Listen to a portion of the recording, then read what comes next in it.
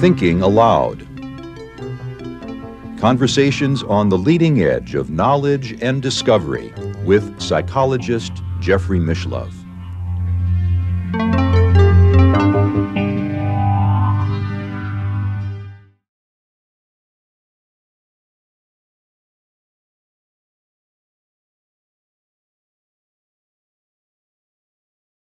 Of our viewers are not going to follow all the numbers Right. and the mathematics, but I, I think the key here, if I understand it correctly, is that you've got these resonances going on Yes. throughout the brain at the, at the neuronal level and at the subneuronal level, uh, down to the microtubules and even uh, below the microtubules to the, uh, Quantum level. the to the quantum level, and all of these levels. below that to space-time geometry, which is how you get the hard problem. Uh, all of these levels have to be uh, somehow orchestrated Right. together in order to get what we know of as human subjective experience. Right.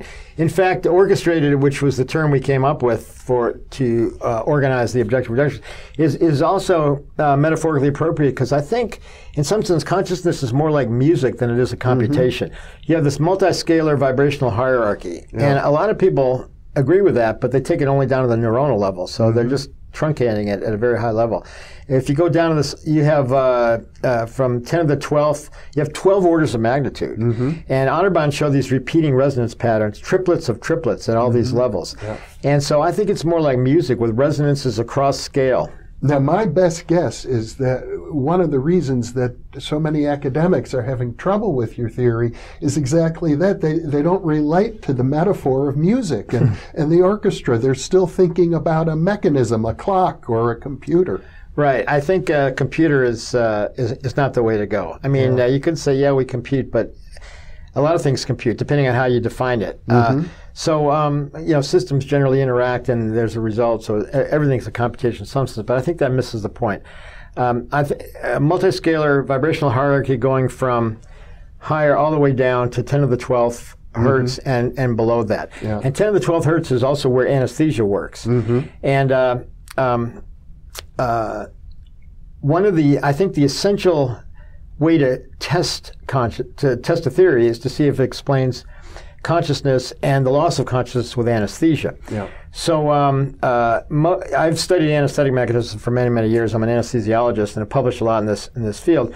And uh, most people would say that anesthesia works on membrane proteins, uh, GABA receptors, acetylcholine receptors, serotonin, and a few others.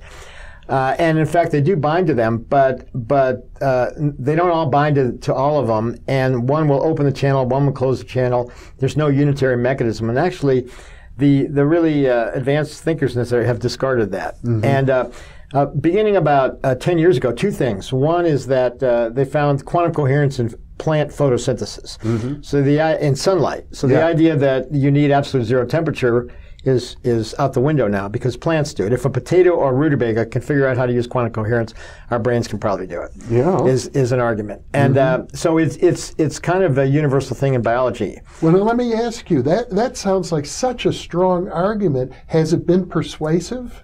No, uh, because people, people, you know, they don't want to go there. And, and and one argument against it, you know, I'll be my own critic here, is that in in the uh, FMO protein in, in plant photosynthesis, the quantum state goes just uh, about a nanometer and is very short lived. Yeah. Now, if you imagine taking that and making a linear chain or in a helix like a microtubule, it's going to be much much longer.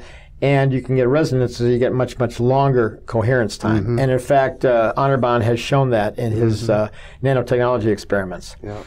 So um, my colleagues Jack Tuszynski and, and Travis, well, let me back up. A guy at the University of Pennsylvania, beginning about 10 years ago, Rod Eckenhoff, showed that with systematic uh, experiments, showed that anesthetics bind to 70 different proteins in neurons, half in the membrane and half in the cytoplasm, including tubulin. He then did genomic and proteomic analysis of which genes were turned on, uh, and uh, which gives you an idea of the function of uh, a functional, uh, wh- which of those are inhibiting the functions. And it turned out that tubulin, microtubules, were the were the answer, and they seem to mediate the uh, the functional aspect of uh, the, the there there would take away the functional aspect is taken away under anesthesia.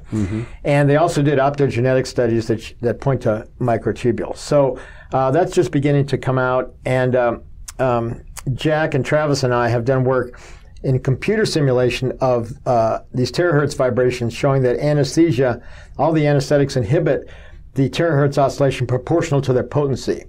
And uh, we have a paper that's that we're revising for a major journal right now that will make that argument uh, quite strongly. So we're gonna we're gonna come out and say that anesthesia acts by dampening the fastest, smallest level of this hierarchy, and that ca- and that dampens the whole cascade. And that's which, what, which I, I gather when you're talking about vibrations in the terahertz range Right. going on in the human brain that is so far outside the normal training of people and Right. neurophysiology that Right. they have an awful hard time relating to it. And you know, they could also say with some validity that well, that's way too fast for anything that we know about. You know, the brain acts, you know, uh, milliseconds and whatnot. Uh, but um, with this cascade, terahertz, gigahertz, megahertz, kilohertz, then hertz, it's the bottom level of this hierarchy cascade.